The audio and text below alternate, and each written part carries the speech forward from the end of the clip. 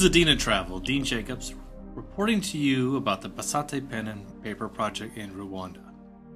Situated in the heart of Africa, in the country of Rwanda, up on the edge of the Volcanoes National Park, is the village of Bisate.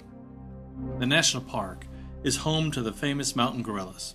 Tourists come from all over the world paying $500 to visit the gorillas in the wild for an hour. Now, the average income for a family in Rwanda is $2.50 a day. On top of that, most things are imported to Rwanda, making many of the basic material needs expensive. The village of Bisate's primary school educates 1,700 students. The school has no running water and no electricity, just committed students, teachers, and parents. And while on a photo project for the Dian Fossey Gorilla Fund for their educational outreach, I met a young girl sitting in the classroom holding a crumpled up piece of paper in her hand. That piece of paper served as her notebook, and my heart sank. You see, the students are not allowed to attend school without a notebook and a pen. All families are responsible for providing school materials for their children. This is a hardship since the average income per family in Rwanda is only $2.50 a day.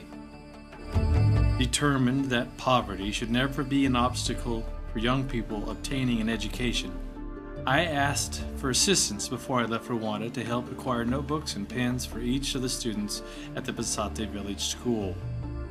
Students and schools and individuals responded from all over the United States.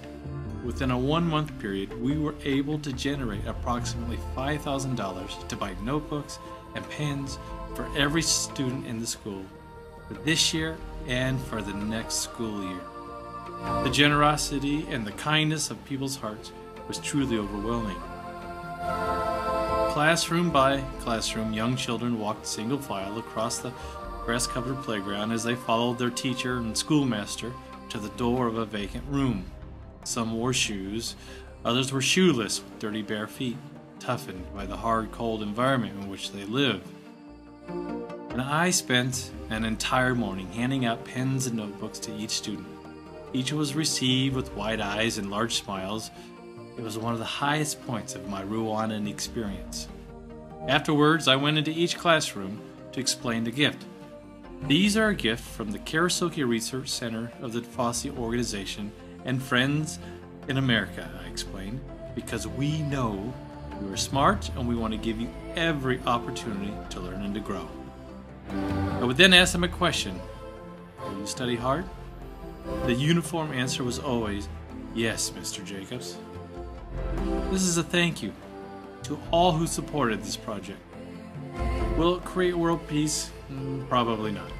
But for a day or two, it reduced a little suffering in the lives of the people who have already suffered much, and that is a worthwhile goal. I'll let you decide for yourself by the reaction of these students if you feel this is a worthy goal.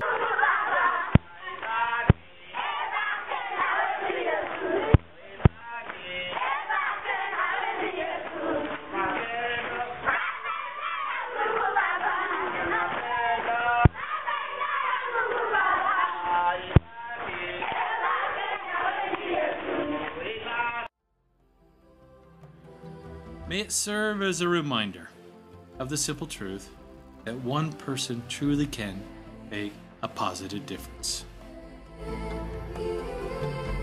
This is Dean Jacobs reminding you to check your compass because you never know where you might go with the Dean of Travel.